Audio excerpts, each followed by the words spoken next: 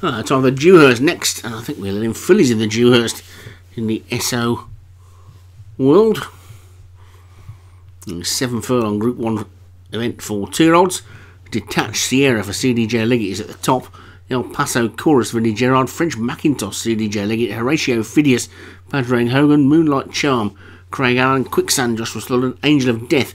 Leon van Rensburg. Is it Sarah or is it Sarah or Sarah? I'll get it right one week. Matt Cooper. Patella Preacher David Robertson and Saffron Beach Dan Hughes.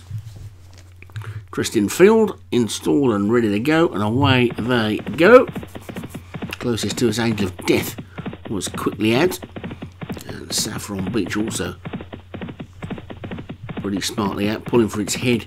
El Paso Chorus, the grave of Vinnie Gerard, and Saffron Beach has got over to the far rail, which will probably help it to keep straight, and it's in the lead and a couple of lengths clear of El Paso Chorus the Grey in second.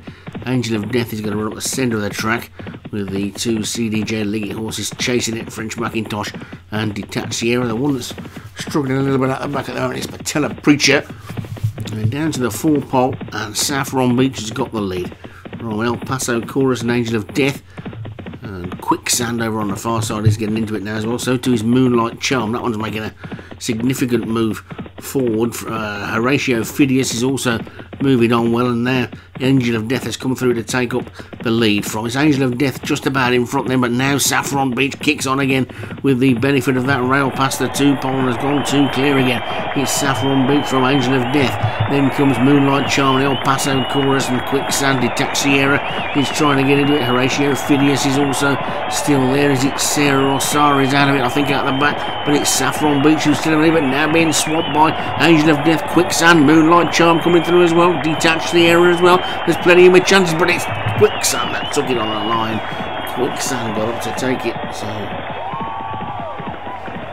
a win for Joshua Sutherland, the champion trainer elect over on the national hunt side of things, but he can still churn out a Group 1 two year old winner as well. So there you go. Quicksand for Joshua Sutherland, the winner.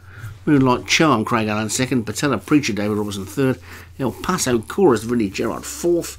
And Angel of Death for Leon van Rensburg was fifth.